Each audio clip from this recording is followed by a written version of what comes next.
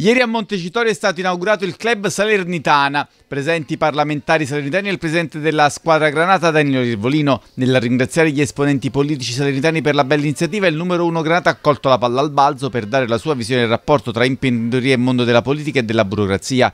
Il Rivolino ha ribadito la necessità che queste non siano ostacolo ma stimolo e sostegno per chi investe creando valore e ricchezza per sé ma anche per l'indotto. Il presidente Granata non ha fatto riferimenti specifici ma stimolato successivamente dei cronisti presenti, si è soffermato sulla convenzione per la Rechi. In mattinata al comune si era insistito molto sul concetto di accordo raggiunto con un lavoro di squadra ed in piena concordia. Anche la Salernitana, rappresentata dal di Milan dal professor Rinosica, aveva espresso una moderata soddisfazione, fermo restando che il punto di partenza era stata la concessione e che la convenzione non è certo quel che il club sperasse. A spazzare via i dubbi ci ha pensato Danilo Ervolino che si è dichiarato contento a metà e che avrebbe voluto qualcosa in più. La firma della convenzione permetterà alla Salernitana di soffrire l'impianto impianto per le gare ufficiali di amichevoli e per 20 allenamenti, senza consentire al club di porre in essere altre iniziative. Ecco perché ieri non è contento e valuta ancora altre possibilità. Dai comuni limitrofi non mancano corteggiamenti di inviti a valutare altre soluzioni sia per il centro sportivo sia per l'eventuale edificazione di un nuovo stadio.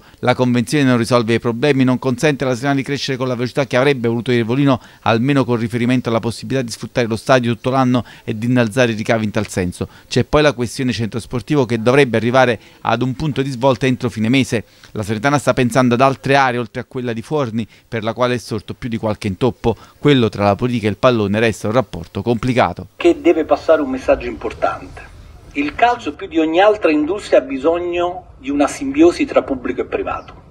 Cioè non ci può essere un dualismo, una contrapposizione, una gara tra pubblico e privato, perché noi giochiamo in un campo che non è nostro, noi abbiamo bisogno dell'ordine pubblico, abbiamo bisogno che Salerno si trasformi in una sport city, abbiamo necessità che lo sport sia a livello isotopico, lungo in tutte le direzioni, quel lab di trasferimento dei valori sociali e della sana legalità che deve andare dai piccini fino agli adulti. Io ho definito lo stadio il luogo dell'economia più di ogni altro luogo cittadino, un monumento importante, il luogo più grande di assembramento della città.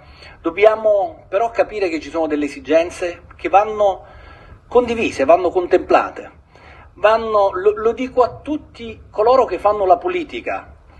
La squadra di calcio ha proprio necessità di avere un rapporto simbiotico con le forze politiche a tutti i livelli nazionali, locali, regionali, degli enti, eh, ha bisogno di fare sintesi tra ciò che è giusto nell'immediato e nel medio-lungo periodo, perché io capisco che a volte, ahimè, non vorrei ora aizzare critiche ed essere polemico perché anzi sono tutt'altro che polemico, però a volte la politica non deve correre il rischio di vedere le cose nel nel piccolo periodo, nel breve periodo, perché logicamente capisco che anche la politica ha necessità di capitalizzare gli sforzi quanto, quanto prima, però va anche contemplato un progetto, un progetto che deve stare in piedi. Salerno può diventare veramente una sport city.